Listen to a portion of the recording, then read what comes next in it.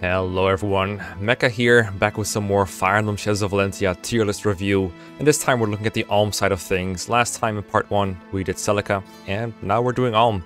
And with me here once again is Peeved Latias. How's it going? It's going pretty well, pretty well. Got, got my booster shot recently, you should all get vaccinated. Hit me pretty hard, but I'm doing good now and I'm ready to raid some units. Let's go. I, uh, I'm getting my uh, Mia's OnlyFans on Monday, personally. Looking forward to being knocked out, or having no side effects. Oh, I see. Yeah. If you get side effects, uh, try not to get them at 6 p.m. It's a surefire way to ruin your sleep schedule. I'll work on it. Maybe I'll play some SOV when I'm knocked out. We'll see. True, 'cause true, true. This game is like that. Because now, after that, after the last part, I can play it with my eyes closed, probably. So that, will- that will help. So, uh, Ju- the just agenda for today. every benchmark. Yeah. the the agenda for today, uh, roughly speaking, we need to talk a lot about villagers because they're very interesting and very variable. And I know Pete has a lot of interesting uh, opinions on the, about them, uh, or the meta does. I don't know where they where one ends and the other stops. Uh, then we have some. Uh, we need to talk about Alm at some point. Um, Python is going to be thrown in with the villagers at some point. It'll make sense when you see it. Uh, we're going to discuss the armor knights or the soldiers, Lukas and Forsyth, and how far apart they are. Yeah, so post production Mekkah here, we ended up talking for a lot longer than I thought. So everything I said up to this point will be in today's video, and everything I'm about to say will be discussed in the next one. And we need to talk about, uh, I think, the, the mage uh, siblings, so Delthea and Luthier, and of course the, the cavalry. Uh, at some point, we'll have a cavalry discussion. So that'll be Clive, Matilda, and Zeke. And I think that roughly sums up the Alm routes. So, yeah. Are Yeah. we just getting into villagers now? So, uh, well, I'll just mention real quick that we moved Nomah. oh yeah. Um, Ooh, controversy we right just away. didn't change we, we just didn't change them from the original tier list i believe where they were both in e tier next to each other Mhm. uh, and when i looked at them i was like okay they're in e tier that's about right but uh, jesse kills like a singular witch while Nomah actually chips a couple things in doom the tower they're basically the same rating but I, I would say Nomah is slightly above Yeah, So that's that's our only cheat from the Celica route. Other than that, I don't think we're touching that. Unless something weird comes up. We probably have to kind of compare some units to Celica route uh, characters actually, because they're in the same Mhm. tier as Alm routes. But other than that, we're gonna focus on Alm routes. So Yep. villagers. Um, i- this is like a really big meta discussion because not only are we talking about four different units, uh, Gray, Tobin, Faye, and uh, Cliff, but we're also talking about units that can go into like four or five different classes each. And I think everyone who's played Shadows of Valentia probably just likes whatever they did in the first playthrough and kind of sticks with that, with exceptions, of course. But generally, I feel like that's the, online preference. It's just like I did this and it worked out, so it must be the best option, or it must be a good option at the very least. So I want to get out of the way real quick. Uh, generally, when I Mhm. have like newcomers uh, play they like ask for villagers, I generally just recommend you go with three different options for your first playthrough and kind of just do whatever you enjoy. And it always works out because Shadows of Valentia isn't hard enough to warrant a very precise class path. Uh, that said, there are certain paths that are where you're trying to up the efficiency count, where you're trying to lower your turn count. Some of them come out better than others, and in that sense, there's going to be some some weird takes in here. Uh, but I think primarily the the first thing we could probably get out of the way is like how do you even go about deciding what a path should be for a character, and maybe more importantly, how do you factor that into a rating where you have to rate these characters as one entity, even though they're really like four different units packed into one portrait? You know, how do you even where do you even start? Okay, so uh, the, the first thing to consider about villagers is that when you're looking at what you make one villager, that's not something you that, that- that's not a decision you make in a vacuum, right? Uh, you cannot just decide today I will use three mercenaries because everyone's best class is mercenary, and therefore having three of them would be good. Yeah. Uh, because you know you only get two swords, and one of them has two might, so that's not really something you can do. So you're already getting a little constrained there. The the second thing that you have to consider is uh, your EXP management. Some classes require more EXP than others. Uh, that's something that's going to come in uh, into effect really hard with Gray. Um, and as for uh, how I personally rate them, I try to rate them based on their best class, Uh, but there are certain exceptions to that if their best class would uh, deprive you from someone else's best class. So, to give a concrete example, Gray's best class in a vacuum is probably Merc. That's how he'll be the most impactful in your playthrough. But he's also the worst of the three Mercs, uh, which is kind of funny because it's his canon class, but eh. it's also a common choice for Um, him. I think a lot of yeah, people do great because Merc. people. Well, it's because he has good strength, ish, and then you look at his speed and it's really bad. So it's you know it's the obvious choice. It makes sense on a surface level. Um, a- and, you know I'm not gonna call someone out for making uh, Gray a Merc. Uh, he actually even has uh, some advantages over uh, Cliff that I'll get into when we look at them as individual characters.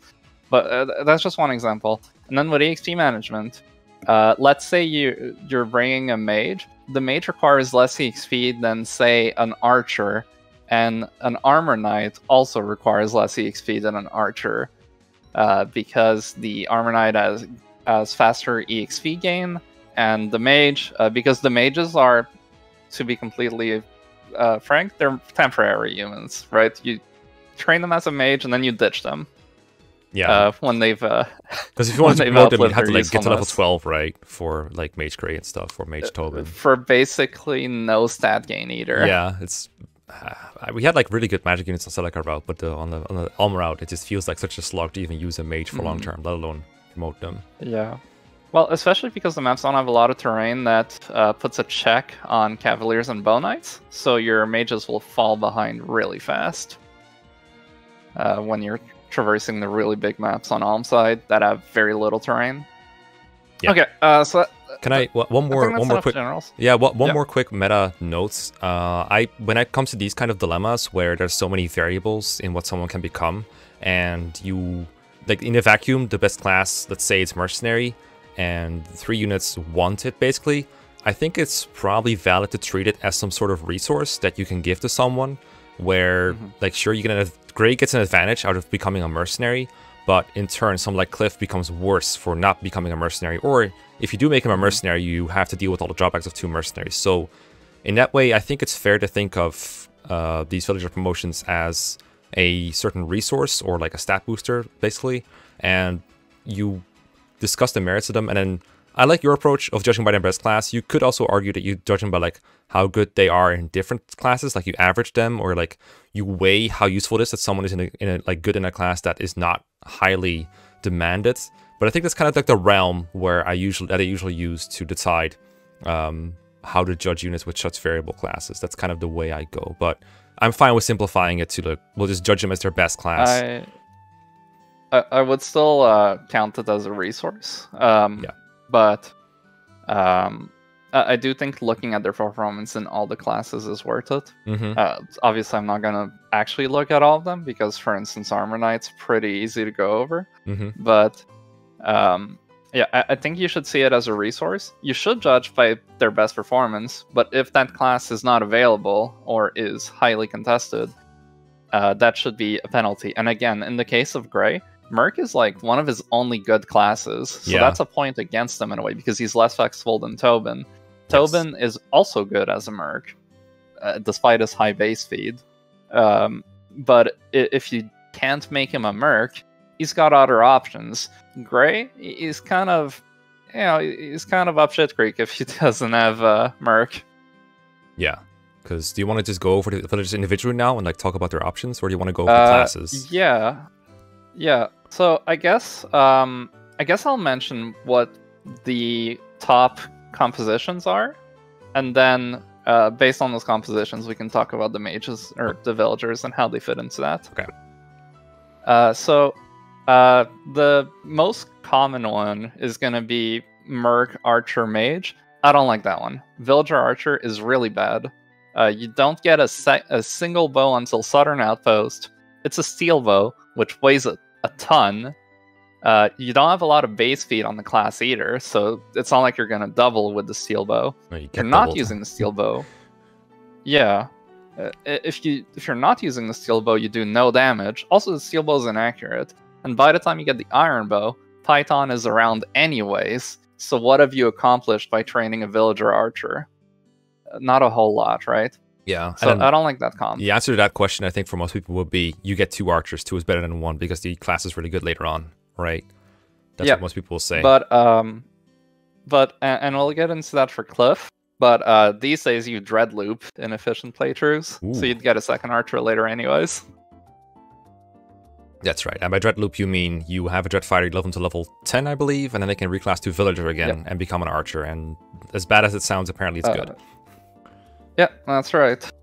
Uh, part of it, admittedly, is because of the rule set that, like, as a community, we've come up for like efficient LTC runs. Um, and I say efficient LTC. This is- is also gonna map onto casual runs really well. I'd like to mention because um, the the reason we have enough EXP to do it is because uh, you need to do every forest dungeon encounter. So in Dragon Shrine on Celica route, you need to fight the four Necro Dragons. On Alm route, where this is relevant, it's because in uh, Fear Shrine, there are two force encounters that you can use to go from Villager to Sniper uh, before even seeing another map. And you can do that right after looping. So you're not going from uh, Dread Loop to Villager and then taking a Villager onto the next map. You're taking a Sniper onto the next map. Yeah, that makes a lot of sense. I mean, I don't mind that rule per se, especially not for this tier list. I Mm. don't even, like, I personally don't really Well, care too much about the strict, um, like, Mhm. the meta itself. Uh, but the reason I like this for, like, this kind of tier list is because uh, I think it's applicable if you're casual, you're doing it. Yeah, like casually casual players will probably fight almost everything at least once anyway. So it doesn't it's not Yeah. very far departed from what people usually do. So that's why I don't mind it for this tier list specifically. hmm So, so that's why like you're allowed to loop them, or not allowed, because you know obviously there's no hard rule against it. But it tha- that's why you have enough EXP. It's because of those maps. Yeah. Uh, which are mandatory under our rule set that we use over there. But even if you're a casual player, I mean, you're gonna do those maps, so you should have enough EXP to loop. Yeah, and then you Uh, have anyways. yeah, and then you have a really good um dude that has like the Dread Fighter basis, but also the Bow Knights class bonuses, the class advantages. And also like 15 extra levels. Uh, so, uh, anyways, so next the the next comp you can do is uh, double mage, and that's really good because there's a lot of soldiers early game, and they have really high res but really low defense, or sorry, really low res and really high defense. Uh, so you can get around them by using double mage. The other advantage is that double mage doesn't require a lot of EXP, so you can funnel more EXP into the rest of your units because you're not training an archer all the way to bow knight. yeah, and like you said, you you're ditching both of those mages then later on, right? You're only using them to up kills for others, basically. Sort, uh, sort of. If they turn out well, you can use them long term if you want. But like um, most of the time, you're gonna ditch them around the time of uh, the Say Fortress. Okay, which means you're really only just using one villager. Well, two if you count Faye. Yeah. Yeah. Uh, which side note, uh, when I say double mage, you can use uh, Mage Faye as one of your mages, uh, if you're willing to go without Priest Faye. Uh, and then you can make Tobin like an Armor Knight or something if you want. You can even go triple mage if you Mhm. want. Max XP. Um, okay, so yeah. that's the, that's the double mage setup Uh, then. Yeah. Yeah, and uh, apart from that, uh, yeah, you can go Mage, Armor Knight, um, Merc. I don't like that one that much, mostly because Forsyth exists, and Forsyth is pretty good, as we'll get into later. Mm-hmm. Uh, it also robs you of one of your early mages. So if you ask me, the best meta is two mages, one Merc, and then Priest for Faye. Now, I guess with all of that groundwork laid out, we can finally actually talk about units. Yes. Okay, Faye, her classes. Cavalier, don't do it. Don't don't do any Cavalier villager. It's not that they're bad, it's that they're Clive that you need to train. Why would you train a villager Cav when Clive exists? Yeah, and again, that requires the XP that you could have just not invested to get a Cavalier to begin with, and then like Clive is good, but you don't really need two Clives.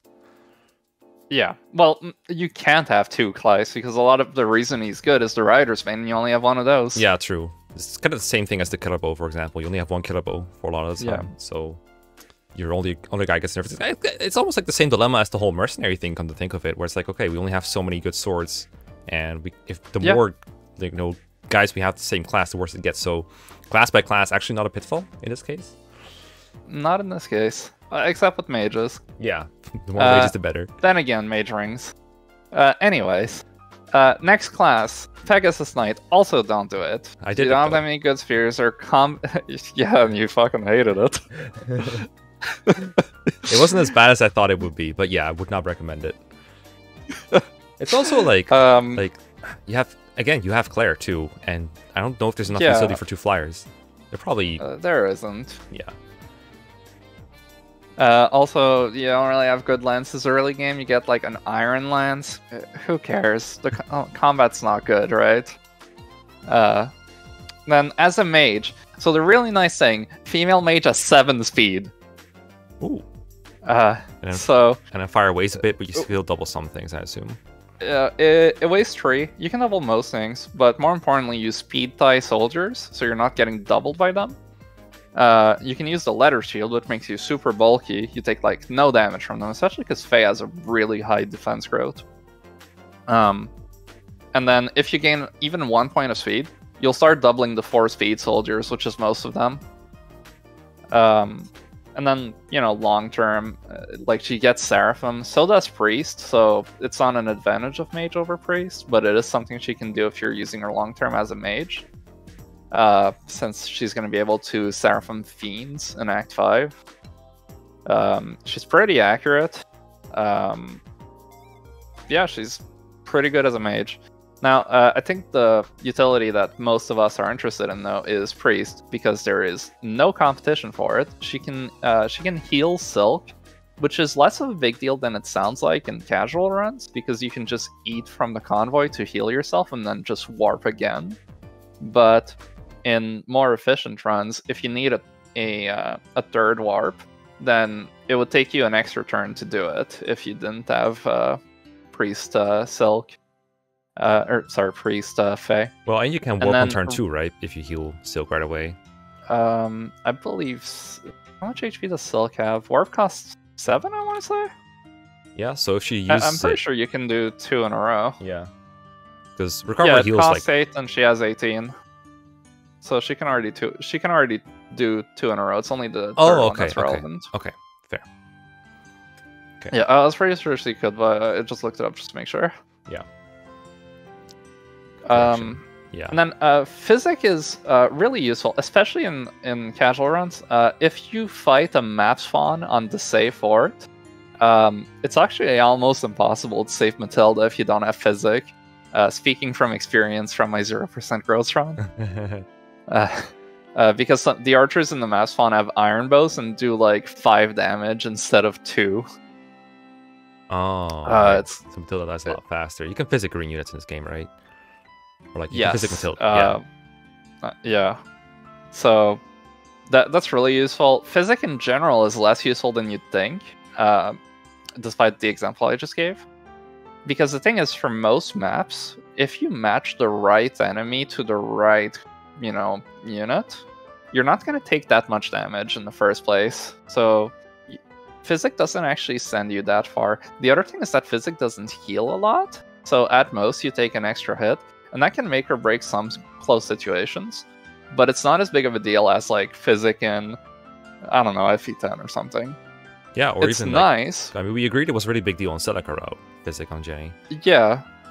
Uh, yeah, but that's because uh, your main uh, juggernaut is Leon, who has really garbage res, and you're fighting a lot of mages. But like Clive versus Cavaliers takes like two damage by comparison. Yeah, So uh, it's a lot more feasible to have a unit just fight everything they need to fight without getting healed in between. yeah, that seems fair to me. So basically, physic isn't as good. I, I, I've played with physic a lot, and I really enjoy the luxury of it. But I can totally see how it's not nearly as good as it is, for example, on Celica Road. So I agree with that. Well, uh, for instance, in the Soyo that uh, we did, uh, you gave me, or well, Modi gave me uh, Mage Faye. I, I didn't miss Physic at all outside of Nuibaba, uh, where it is admittedly really good. Yeah, I think when you, people think Um, of Nuibaba and Faye, they might think of like Rescue as like a very viable option to have. Yeah. So uh, it's because the strat in a fast clear is that you warp in your Dread Fighter, preferably Cliff, and just have him bonk Nuibaba turn one. Uh, but he's going to be facing a lot of attacks, so you're going to need to physic him turn two. Yeah, I think Um, the, the, old Admittedly, the- that's a go ahead. uh, uh, admittedly that's a more specific strat, and I would say Faye is still really good on this map if you're not doing that because, uh, as you were about to mention, I assume the old cheese is warp rescue where you warp in. Yeah, you, warp in like Alm or something, Hunter's Volley, and then rescue them out. Yeah, Um, and that's only one place where rescue is good. It's also really good on Rigel Falls to boost units up the stairs, just get them up there faster. For instance, like uh, you can do like the FE4 style rescue cheese where you warp uh, Faye forward and then you walk forward and rescue Silque so that they both get a boost in movement. Uh, you can do rescue in Last Bastion to rescue your Bow Knight from one lane to the next to uh, clear them out faster. Uh, you can do rescue. Um, fun fact: you can actually change or deployment position on the final map. So what you can do is you can spawn Faye on the right side to rescue Alm towards uh, Duma if you're uh, trying to clear it fast. ah yes, that works. I never do that because I I'm I'm a pure I'm a purist. I keep all of Alm's people on the left, but there's no reason to do that gameplay wise. Yeah. So like, I would say Faye is really good for all of those reasons. Mhm. Now, um, would I say where would I say that is an A tier? Uh, I don't know if I'd say it makes her the best villager, uh, but I, I'd say that she's uh, either just below the uh, Celica mages or just above, uh, uh, well, mages plus saber, or just above them.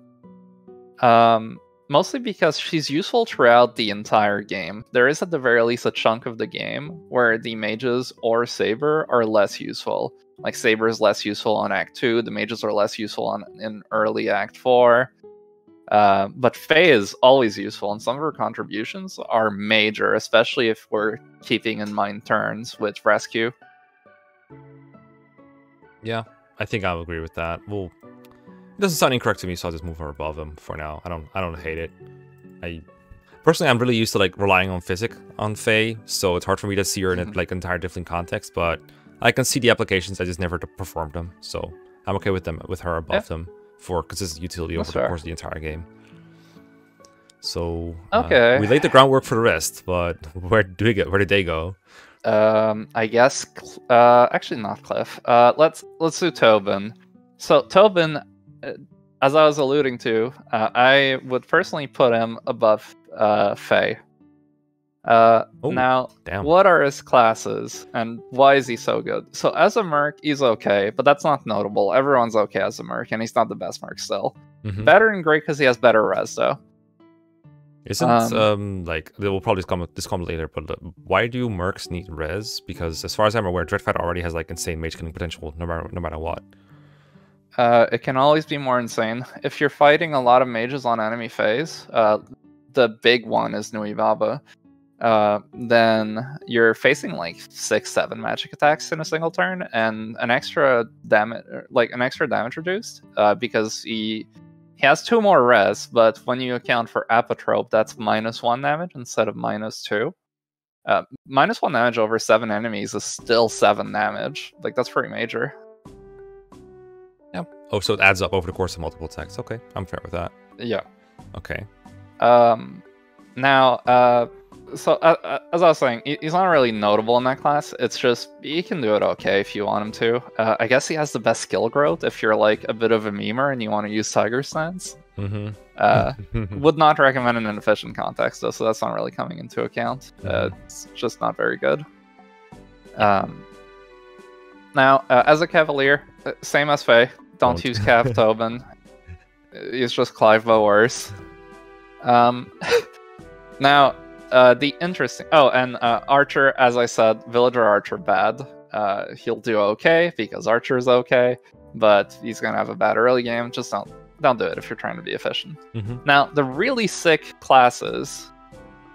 So, uh, the first one I'll mention is Armor Knight. Now, I don't think it's his best class, and if you do want to use an Armor Knight, I would recommend Forsyth over him.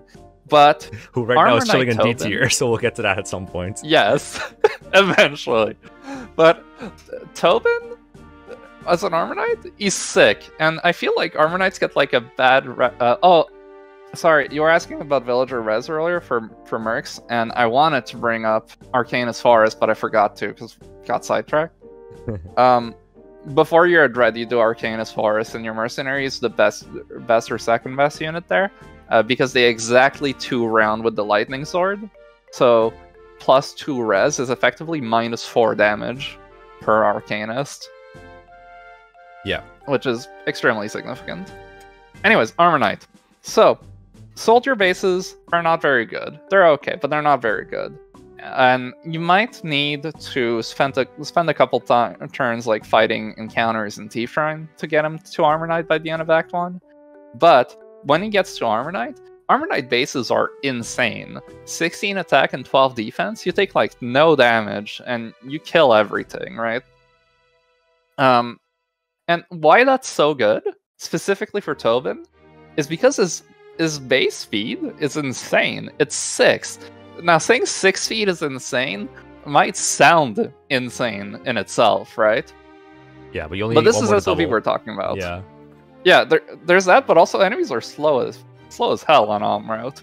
Eight speed is the magic threshold that you want to hit to double every relevant enemy on Alm Route for an Armor Knight.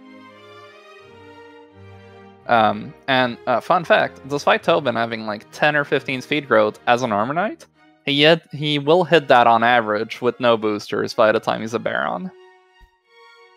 Uh, so Armor Knight Tobin is basically, well, I, I just said he needed to grow speed twice, but if you give him the speed shrines, uh, to it 8 speed, if you give him the speed shrines, he's basically a 0% growth unit. He coasts off of his bases the entire game. That's so weird. Now, yeah. Now, here's the fun. Oh, uh, also, this part's not efficient because it requires too much investment, but I want to bring it up because it's really funny. So, Zofia Gate Cavs are like one of the most hated enemies in the entire game. They don't die in one round to the Lightning Sword. Clive doesn't kill them either because they have too much defense. Uh, if you give all three attack shrines and all three speed shrines to, to Knight Tobin, he one rounds them as a level one knight. And there's a. I'm gonna get even more specific. If you go, I believe, uh, two tiles down and two tiles left of the gate, um, they will attack you from a grass tile instead of a tile tile, so Oh. they don't get the avoid. Goddamn floor tiles. Oh, that's funny. I never realized that. Yeah, the, Ooh, the that's funny. the reason is because the they can only attack you from the right and from above. Above is a grass tile, so the first one attacks you from the right, and then everyone else attacks you from the grass. But is does the grass also give a void, or is it like plain grass? It's zero. It's Okay, a zero. nice. Ah, that's so nice. Now, this isn't efficient because you're giving them way too many boosters, but it is funny. Mm-hmm.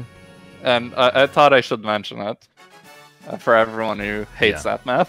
Yeah, but the peak performance Okay. for him would be like just uh, Knight and Baron base Uh, being really good in general for like yeah. three especially. Yeah, and so here's some concrete examples. Uh, fun fact: Armor Knights are good against mages. Yeah, I had the, the Uh, in Arcanist, yeah. Yeah, in in Arcanist Forest, if Tobin gets hit by the Arcanist on enemy phase, the Arcanist will go from 30 to 29 HP, and then Tobin doubles for 14. That's one HP short until you remember the Arcanist uh, will lose one more HP on player phase when he counters. So, if he gets hit on any phase, Tobin will then one round the Arcanist that chipped itself for one HP. Hmm. Uh, and uh, how many rounds does it take to kill uh, base Armor Knight Tobin? Well, it takes five rounds. What the hell? Huh? Yeah. Hold up. That doesn't sound like an Uh, uh, Armor Knight 'cause- thing. I thought that. I mean, that, my memories from the Arcanist Force is that it's really scary and that the enemies hit you really hard. Um, it takes eight and has 34 base HP. Okay, that's kind of sick. That's a knight? What the hell? Okay, cool. Nice. Yeah. Let's Yep. go. Let's go. So, uh, Force or uh, not Forsyth, Tobin, kind of sick against the Arcanist as a knight. Uh, what else is he good at? Well, he trivializes Tree Tree, which isn't like a very hard map or anything. But if, if you want to use like Clive as your Rider's Bane user, like sometimes his defense is a little low. You might need to dodge something. Uh, Tobin doesn't need to dodge anything. He gets tanked for like one damage by Fernand. Oh, it's the Fernand Recoup map. I was about to ask which one it was. Yes. Okay, yeah, fair enough. So just plop him somewhere where the calves will like hit him. It doesn't even matter actually if they survive. They're probably not going to survive because he's Rider's Bane. So they just die, right? Yep. Uh, well, no, they, they will survive because it's Unforged at that point. Oh yeah. And he's not going to die. Um, uh, yeah, and then outside of those, in you know the first map of Act Three, he's going to do really well. And this is like general Armor Knight stuff, so this also applies to Forsyth and Lukas. So maybe we can like sidetrack from the villagers to place them after, because everything I'm saying currently applies to them. mm-hmm. You know, they're using the same class bases. Yeah. That's a Um, moment. Yeah. Um. So, in the first map of Act Three, uh, he takes actually no damage from the soldiers and barely any damage from the armor I mean, he takes one, right? uh, because his OV is a one minimum. Yeah, yeah. As, no damage as in he takes like basically nothing. Yeah. he gets tanked, I think it even sounds and like he Tink. does. Yeah, uh, yeah. You play a blocking animation if you take one damage. Yeah. Um, and you do a ton of damage in return. Uh, I didn't run the mats on this one. Uh, like I'm mostly speaking from experience since I do Armor Knight almost every run these days. Um, but he, he like two rounds them, or really sets them up for someone else to kill them. Like he's really sick. And then on on uh, the save fort, um, I forgot how much you need to forge it, but uh, in one of Karma's run, she visited the village where you can forge the steel lance before doing the safe fort, and uh, ma- actually managed to one round the armor knights inside the fort with armor knight Tobin. That's so stupid. I've never done Armor Knights. Totally, Yeah. I gotta say, I don't have much experience with this. I do have our experience with um, Forsyth doing almost the exact same things, though. So I can definitely verify that Yeah. the bases are good enough at the very least. Yeah, and then he hits Baron, right? And as a Baron, he has like 18 defense and 22 attack. And uh, like that's really good, like on its own with no context. But when you give it context, it's even more insane. Um, so the common wisdom is that to kill an armor knight, you double them with Excalibur and you hope for a hit and a crit, right? Yeah. So that's player phase. But then on enemy phase, if you don't crit, you probably get doubled while you're holding fire Oh yeah. by the armor knight because the the armor knight has seven speed. Um, and then uh, you know, fire also does less damage, so you're not even four hit KOing. And uh, the thing is, armor knights have the same move as mage in this game. Uh, really, the only disadvantage is the range. So in Act Four, your armor knight is effectively an enemy phase mage if you want to think about it that way. You throw him at an armor knight, and uh, fun fact, with a uh, I believe either capped or plus three steel forge. I'd need to check the exact one. I don't think it needs to be maxed out, but it does need to be like plus three, plus four around there. Uh, you will two round armor knights on enemy phase. So you just throw Tobin at armor knights. yeah, but you don't die like a mage would. Cool. Yeah. You can also do the same to Barons because enemy Barons will often have lower than class bases for defense. Not bad. Uh, in fact, uh, the so the the number is uh 33 attack. Now I think about it. So 33 attack is a max steal. Uh, that will one round almost every Baron in the game, or two rounds, sorry. Um, and eight speed will double every single Baron in the game. All this sounds very and- stupid. And all It this, all this for fucking Tobin as an armor knight, not even his best class.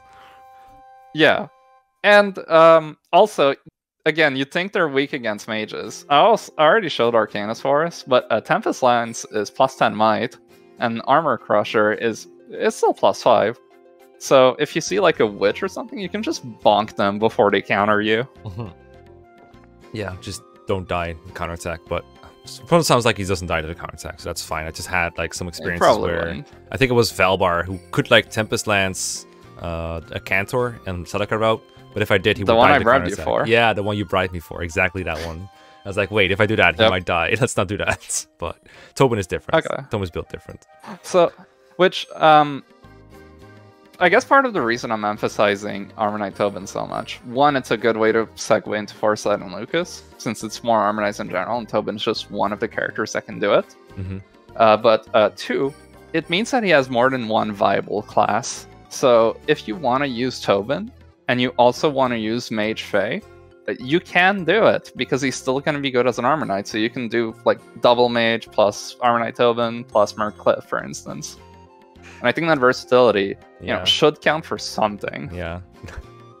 this isn't even his final form. So do you think Armor Knight Tobin is better than uh, Mage Tobin? Because Mage... I, um, it's better long term. It's worse short term. Ah, okay, that's that's a fair assessment. Because I think most people would do uh, Mage Tobin. Like that's what he's known for. Yeah, and that block. is what I think you should do. Partially because Forsyth exists.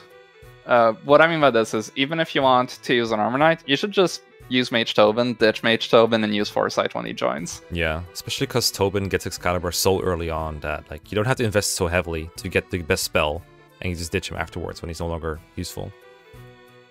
Yeah. Um. So I guess speaking of, yeah, Mage Tobin is his best class. So as I mentioned, as an Armor Knight, you give him plus two speed. You do that as a as a Mage too. And the reason you do that is because with eight speed, uh, minus three for uh, fire, uh, you will double the four speed soldiers and match the five speed soldiers in attack speed. And that is insanely good because at base he has 11 damage with um, with fire. Yeah. Um, he's also gonna have that sorry? almost kills him, right? no. Uh, they have like 30 HP. Yeah. Oh, okay. 27. Um, but uh, Anyway, almost. I mean, it sets him up 22 for someone else. Is what I meant. yeah. Uh, but it's not really within range for him to like eventually reach one or one rounding No. with, attack procs. Like his growth's not that good. Yeah, but like that's okay Um, because he's not a long-term unit anyway. So- yeah, and in fact, you could even argue it's a good thing. hmm Yeah, exactly. Uh, next, um, also Mage has five defense at base, I believe. So with the leather shield, he has eight defense and takes three damage from a soldier. He has 28 HP, and he has uh, he takes one damage from the um, Fire. from fire. So he's taking four damage per round, and he gets um, so that that would be seven rounded by soldiers uh, while he chips them all within that range. Now, Mekkah, how many soldiers are there on Solder Outpost? yes. I think I. Uh, there are five of them. It's not as much as I thought there would be. I think it's like, is it five soldiers and then like an archer, like two archers maybe? That's what I remember. Uh, it's five soldiers, one archer, and the boss. That's also a soldier, I think, but it's like higher stats, right? Yeah. Yeah. Yeah. Uh, at the very least, if the spreadsheet is to be believed, it's five. For some reason, when I see that number, I'm like, that's not right. I mean, But the, exact number doesn't really matter that much, right? It's just about like yeah, soldiers e- are either common. way. The, the, well, what I was more getting at is uh, he can get hit by literally all of them, Oh. live, and leave them low HP. Like, that's how insane Mage Tobin is. I see. So I think you were saying he's better than uh, Faden for being good as a mage and then good as an armor knight, Yeah. and then also he can be a merc, but it's whatever. Yeah, and like the thing is, early game is like the hardest part for playing fast because you have so little options. You don't have physic, you don't have forges. Like being able to do 22 damage is insane. Your merc at this point is probably doing like three damage to them because you don't have lightning sword yet. Oh, that's right. You only get that after. Yeah. Yeah, Uh, not to mention that he's going to be good as a mage on you know the map beforehand. So it's like it's really good. Yeah, he can kill a leather shield merc as well. Yeah. Although I usually leave that to my second mage. Oh yeah, Um, but I mean, Tobin is so good that I don't really want to waste him on a single enemy. I want to move him forward. suffering from success Can't fight the- the strongest enemy because I'm already fighting every other enemy on the map. Yeah, because what I usually do on that map is I, I mountain walk the the bad mage. Great. Um, yeah. And, and then I sent Tobin right with everyone else because that way I can meet the the leather shield merc halfway. That's fair. Okay.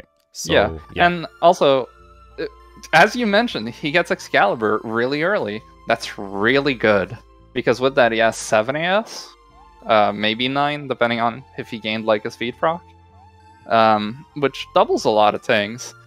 And while I would still say that Armor Knight Tobin is better. Uh, long term, it's that's still enough to maybe kill an enemy in like Act Four. Yeah, like I said, it has Also- some utility in oh, like armor knights yeah. from the safe fort, if you want to. Yeah. So I'd put him like above Faye personally. Right, we'll just drag him over there for now. People have an issue with it, you know, they can comment, and I'll maybe ignore him. I got him. True. True. All right. Uh, I guess by that same token, we can talk about the armor knights. Uh, since sure. I know we were talking about villagers, but we went over all the class bases. Let's not do it twice. Yeah, I agree. We just move Forsyth and Lukas to where they need to be because I think you're saying they should be closer together in some capacity because you like Forsyth a lot more than D tier Yeah. and Lukas a lot less than A minus. I don't know about a yeah, lot, uh, I would put Forsyth in B minus personally. B minus. All right, that's lower than expected. Yeah. but we'll take it. Does he? Well, you gotta, you have to be realistic. He joins before Zofia Gate. You want him to be promoted for Zofia Gate. That means he has basically mandatory grinding to use them as efficiently as possible, because it's actually more efficient to grind them Mhm. than to lug him around unpromoted, uh, turn-wise. Yeah. Uh, assuming you're planning to use them anyways. So you have a built-in penalty with that. I, I, I love the guy. I love using him but I can't just not penalize having a low base join level.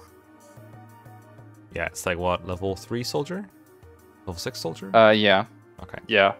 And then even then when he's trained, he's not your best unit in. uh, I want to say any map. Like there's some units, there's some maps where he's really good, but he's still not as good as like the the top dogs, right? That are insane. Like even if he's really good, he's still not the best in any map. So I would say that doesn't warrant being an A. Because if you look at everyone that's an A right now, except the people we haven't moved, like they will be your best unit in some map at some point. I'm fine with that. I did like him a lot, but I gave him a lot of favoritism, so I don't have a great scope of how a more realistic s Mm-hmm. uh, performs, other than the class-based performances that you just named. Because what you said for Tobin sounded really good, but I'm assuming Tobin is not A plus, not just because he has that potential as an armor knight, but also the mage class, which It's is more because of his mage. Yeah, Yeah. so mage utility And is good. the, yeah. the thing is, um, the thing about Forsyth too is, like, he's basically going to perform the same as Armor Knight Tobin, because while he has a lower uh, speed base, he has a higher speed growth. So, on average, they will both reach 8, eight speed naturally, and if they don't, you can just give them the booster. Yeah. So B minus, but sounds like you want him above Kamui Uh, still, because with Kamui Uh, it sounds yeah, more pers- mediocre personally, than yeah. what Forsyth offers. Like Forsyth is still good.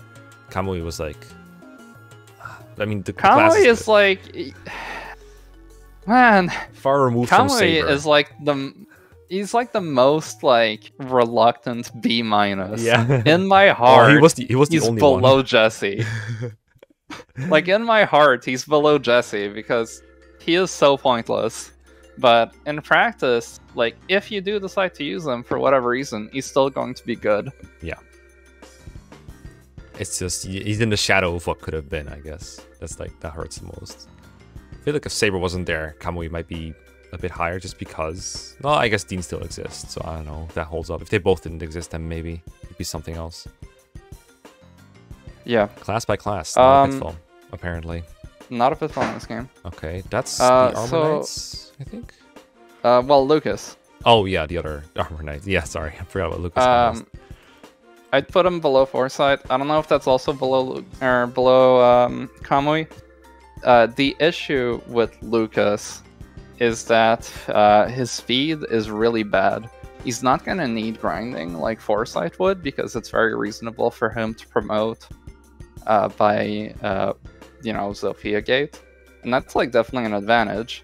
And as a temporary unit, he will like put in some work when you have no one else. So you also have to consider that.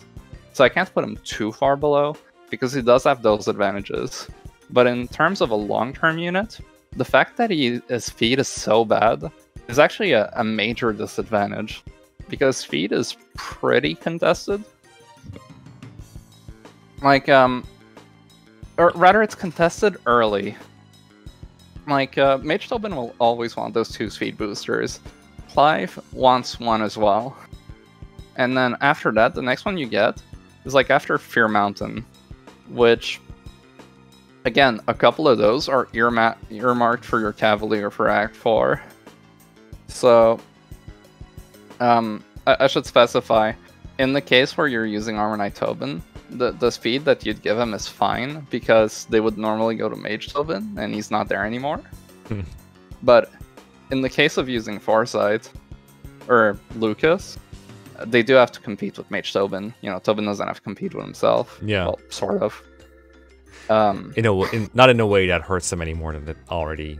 you know, yeah. they started competing, and then I think just to emphasize this, um, the other units they need a bit of speed, but they can also just have like good long-term prospect speed-wise. Whereas Lukas needs those speeds to get to the minimum speed required to do like Yeah, important stuff. he, he averages he averages six feet as a like 10-1 Baron. well, what's the Baron? Which- Oh, that's so low. Like that's yeah, that's two below what you want. Meanwhile, Forsyth, if you do, you know, the the same thing, will average, I believe, either eight or nine. Um, yeah, he averages eight, almost nine. And also, Forsyth has better res, which is relevant because part of the Armor Knight's fun performance is an Arcanist Forest. Um, and Lukas is just worse there. So I would put him below Forsyth, or uh, I personally put him above Kamui. He's not Mhm. as good. I think if you want to use one long term, Forsyth's better, but Lukas still is uh, lower investment in terms of EXP if you're just using him temporarily. Yeah. And um, it, it just helps you when you have no one else, which is definitely worth something as well. Yeah, I feel like it's fair to make a, uh, a parallel to like FE7 Oswin, for example, who is like really good short term and really bulky when the rest of your team is not as bulky. Uh, but as better options appear and your player durability generally goes up, uh, the demand for Oswin slows down, and he's just not as good anymore. Especially in the case of Oswin, the main problem is movement. I think in the case of Lukas, it's the problem is more with speed.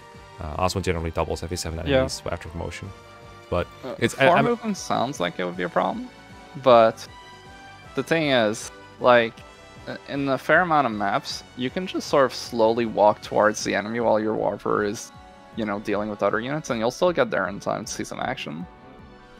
Yeah, and I feel like the move disparity between other units is also not as big because, with some exceptions, the most mobile units in Alm are not the best offensive ones. Like Claire is not going to be killing enemies, and um, I guess it, there's Clive, and at some point like Zeke and Matilda, uh, who can like run ahead. But most people will have similar movements Well- to the Armor Knights. I feel like. Dreadfi- well, Dreadfighter's gonna have seven. Yeah, Dreadfighter. Does F5, True. and then the Bow Knight and Snipers F5 and 8 respectively.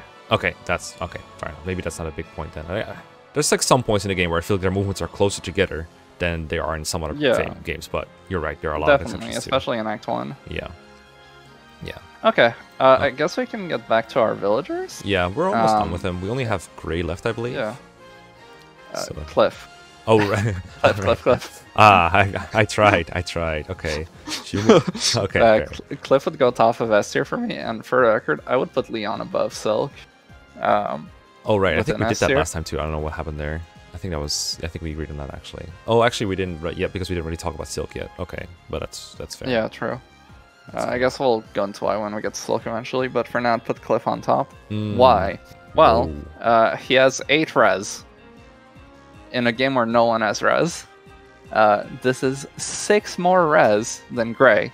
This means that on Arcanist Forest, if he fights two Arcanists, or even one Arcanist over two rounds, because that's how many rounds it takes to kill with Lightning Sword, you have taken 12 less damage than Gray. POP. And a lightning sword deals like enough Yeah. damage to where it sets up the kill for someone else, right? That's the idea. Because you at least you counter Uh, them. it does 15. Yeah, that's that's decent enough. It's like set might, right? It doesn't take into account strength. Uh, yeah. Yeah, that's good. Especially because like, what else do you have? Uh, Python. Like, who else is gonna counter these Uh, boys? The, the Tobin. best units are like an ar- the best units are like an armor knight, uh, Python, and uh, you know your merc for that map.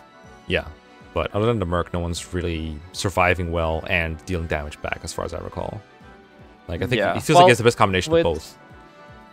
With the armor knight, he's not really doing damage back in a way that will set up a kill for someone else. Um, but for himself. uh, he is setting up a kill for himself. Yeah. On assuming he's only baiting one. Yeah. Um, and also, Python actually counters for more. True. Uh, because Sniper Base is 12, Iron Bow is, I want to say, 2. Is it 2 or 4? Uh, Let's say it's 2. That's 14. Um, and then you're hitting on res. That can't be right. Hang on. Uh, 15. I mean, it's not a super important detail. It's the point. Is Yeah, he, it's 2. if he hits for like similar damage, that's already pretty good.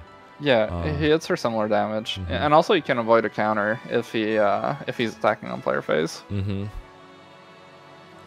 Okay, So, so, th- those those would be the best units for that map. yeah, so we have uh, Merc, uh, probably Myrmidon by that point, Cliff doing pretty well in uh, Arcanist Forest, because I think you Mhm. go Myrmidon by like 1E, like Zofia's Gate, and then you keep Uh, going, and then at some point you're Dreadfighter, and you loop to Villager, uh, Bow Knight, like discussed. Then you have a disgustingly powerful unit with 1-5 range and a killer bow. I believe that's the idea. No, we've we've never talked about a, a unit like that before. You know that doesn't remind me of anyone on the list right now. well, Cliff is something Uh, else. joking.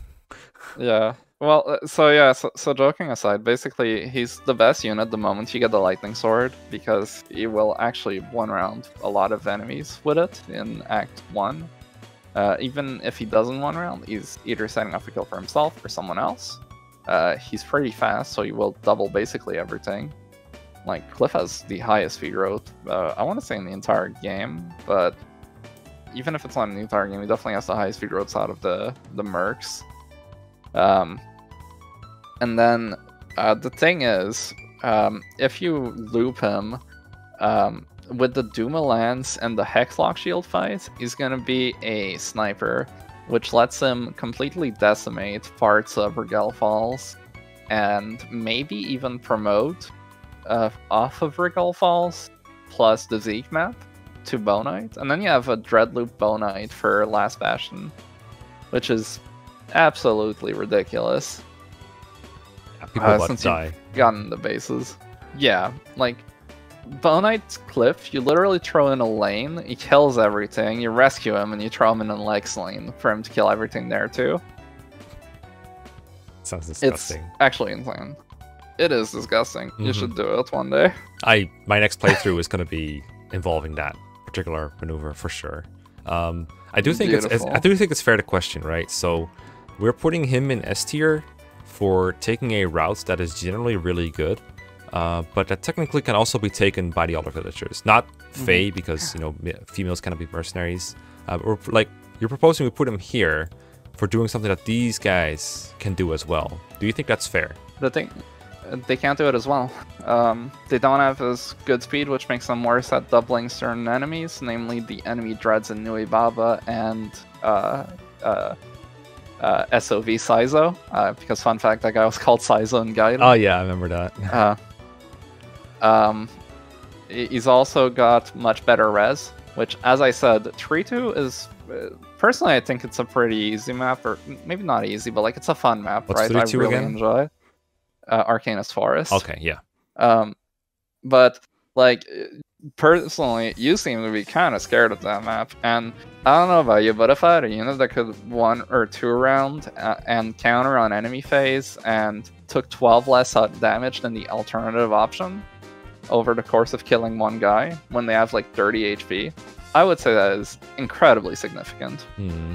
Would you say that these kinds of gaps in performance, like Arcanist Forest and uh, the other maps where he outperforms, like doubling Saizo, do you think that's a trend in like all of SOV, or is it like a couple specific maps where he really stands out? in those specific maps, he stands out especially. On other maps, he will stand out in other ways, or maybe slightly less, or even be worse in some cases. Uh, like on the on the map where there's like 20 calves, he's slightly worse than Gray, because Gray's going to be able to get a, away with a weaker forge to do the same thing than, that Cliff does, since Gray has higher strength. Mm-hmm. But for the vast majority of maps, uh, the higher speed is nice. Uh, for one, it makes it more dodgy, which dodge tanking is never 100% reliable, but if you're on terrain, you can get really low hit rates, and since it's 1 RN, right? Uh, Yeah. You really want to get that as low as possible. Yeah, for low hit rates, it's Uh, uh, it's one run. Yeah. Yeah. Um, yeah, it's 1 RN below 50, which for anyone who doesn't know, 1 RN means that it rolls a single dice instead of averaging the result of two dice roll. Yeah. So basically, uh, the hit rate below 50 is true, as opposed to being less likely than displayed. So because low hit rates are really likely to hit compared to another game, uh, having the extra speed really helps. Mm-hmm. Um, and um, especially when you get out of Dreadfighter, the gap in resistance will show itself even more again because he's going to be at 8 res compared to 2 res and take 6 less damage. Yeah. Uh, examples of where that matters uh, Rigel Falls. Um, it's also going to matter for Last Bastion because there's Mire Arcanist there. It- It's going to matter for uh, the Berkut map. There's like three Arcanists on the left. Um, it's not really going to matter for Duma, but you know, like that's already a, plenty of maps, right? Yeah, and I also feel like um, a unit like Cliff that's doing this much work, uh, basically like we already alluded to earlier, uh, a gap in certain stats, especially avoid and res for a unit that is doing so much work is just more impactful because it's going to be the more he can take on, the more enemies are just deleted on sight, basically. So it, it really like the defense can be transferred into offense, can be converted into offense so easily that it's like super worth. So you know, it's a satisfying satisfying explanation to me at least. Yeah. Now, uh, I want to touch on his other classes real quick because I know some of the alternate classes are popular, and that's part of the reason why people would. Uh, oh no, I know what's coming. I know what's coming. I know what's coming. Okay. I'll I'll save it for last. okay. um, Armor Knight, uh, he's gonna do fine, I guess. The problem is that he has like two base speed, so he's got a speed hole to dig himself out of. But by the time he's a Baron, he'll be fine, I guess, if you want your growth unit.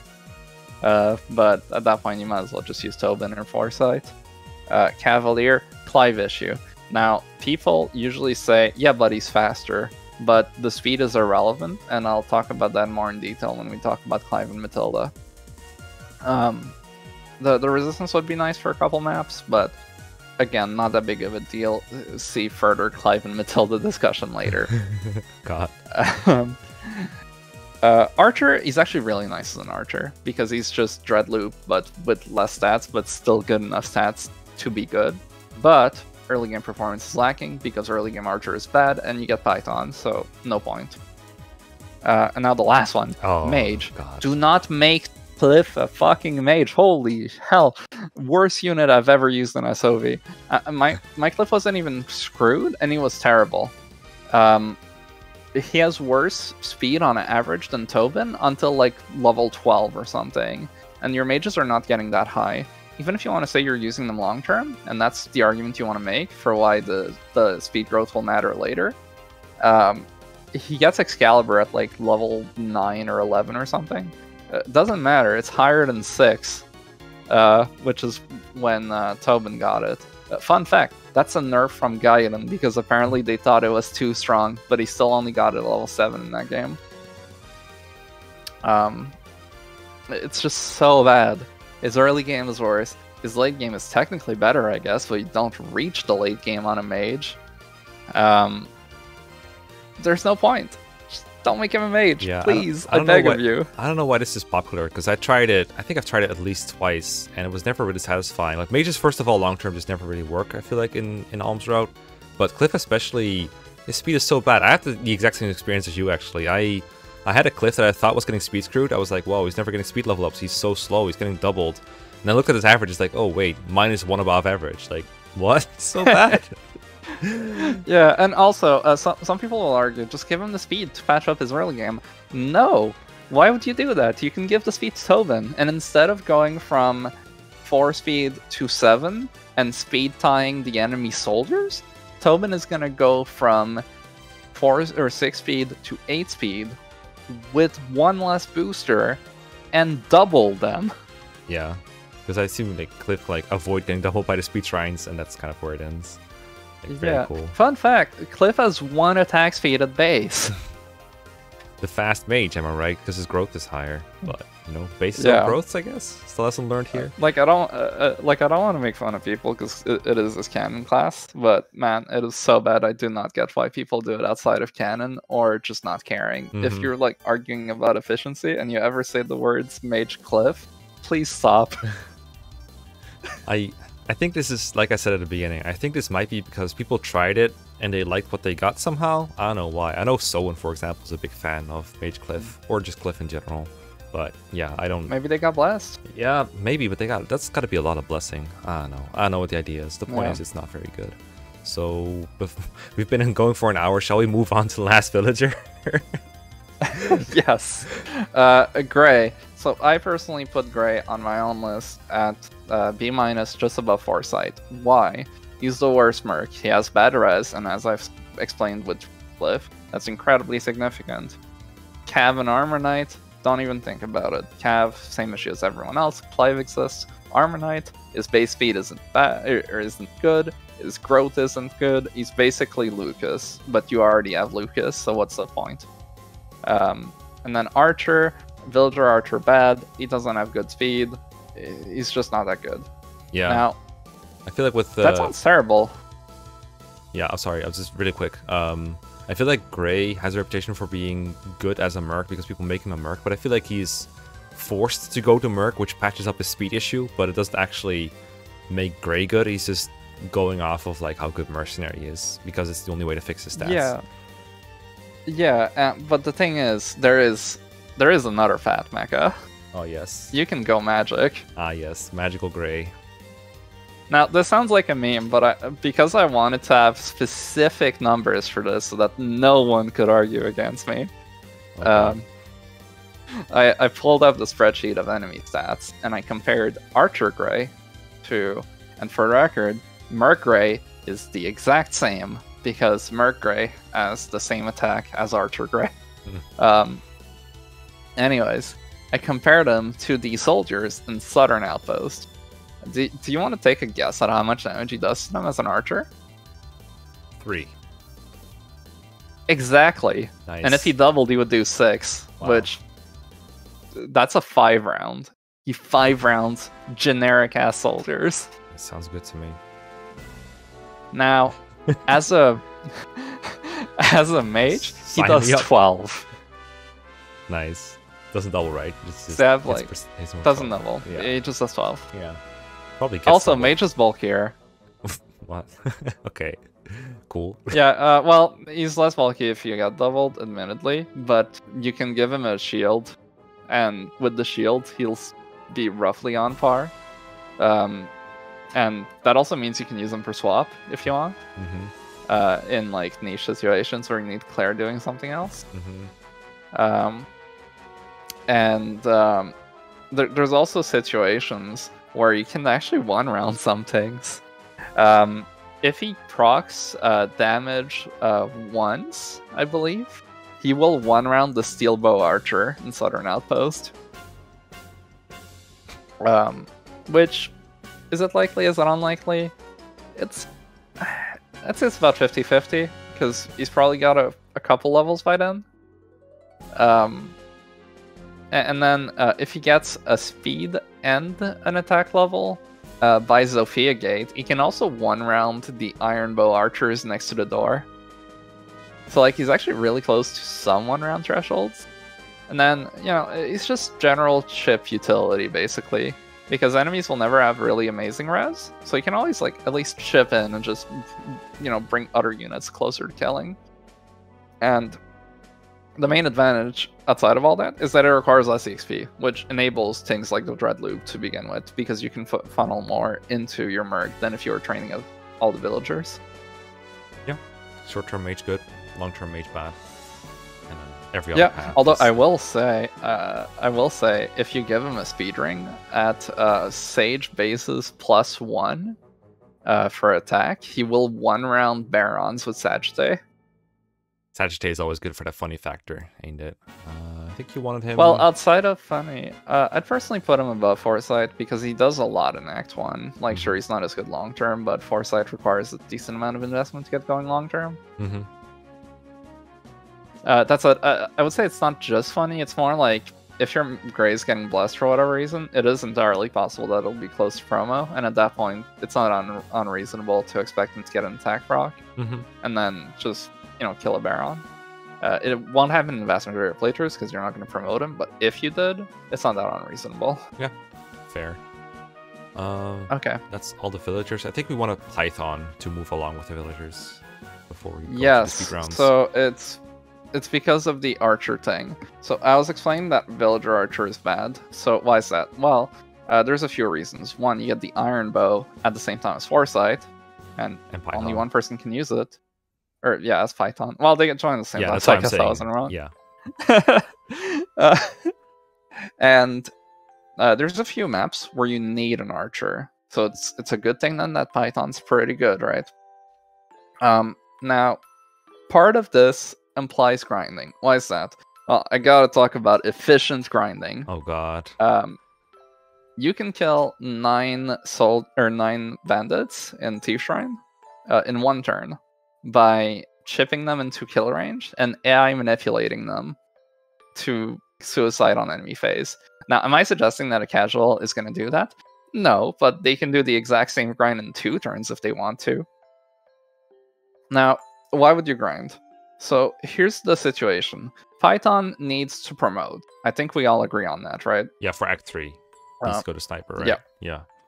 So, when can we promote him? The first shrine is the one before uh, Zofia Gate, and the second shrine is the one after uh, after Southern Zofia Forest, like the ca- the Cavalier map, Tree Five. Yeah. Um, and if so, you have three options. One, you wait until after Tree Five to promote him. That's not good. He's gonna be hella An useless, Archer in right? three, in early Three. Yeah, that's bad. An archer in like mid Act Three, you mean? Well, yeah, up until the it's- until until up until three. Yeah. five, yeah, it's awful. Yeah, that that's awful. So let's not even consider that. Uh, second option, you feed him a ton. Maybe after Arcanist Forest, you go back and promote him.